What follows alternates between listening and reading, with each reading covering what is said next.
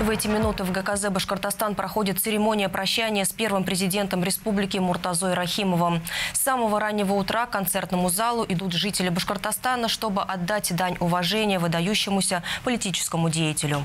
Сотни людей пришли возложить цветы и склонить голову. Среди них и взрослое поколение, которое застало время активной деятельности Муртазы Губайдуловича и молодежь.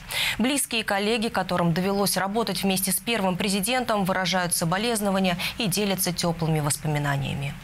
Как мы занимались со школами, строительством дорог, как занимались мы культурой, как, как мы служили для чтобы башкирский народ жил не хуже, чем другие народы. Это тяжелейшие годы были. Мы переходили из плановой технологии, плановой жизни рыночной экономики.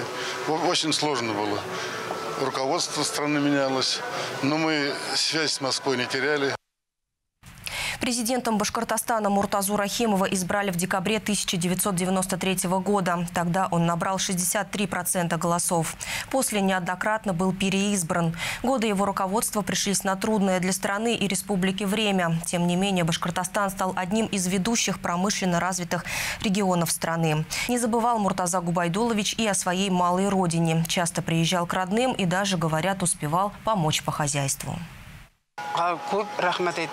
Я ему очень благодарна. Когда он навещал нас, мог и сено помочь скосить, и дрова нарубить, и даже трактор с братом чинил. Все умел, потому что вырос в деревне. Спасибо ему. И республику поднимал. Это все понимают. Муртаза Рахимов скончался в ночь на 12 января из-за тромбоза после перенесенного ковида на 89-м году жизни. Его похоронят сегодня на мусульманском кладбище Уфы.